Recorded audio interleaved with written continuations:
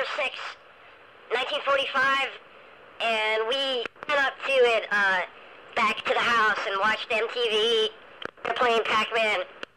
Felt really gross, and all the kids were diseased. Giant airplanes uh, crashing underneath electromagnetic fused guys with flamethrowers melting. Taco trucks were crashed. There was sausage meat all over the. Sasquatch was eating a burrito.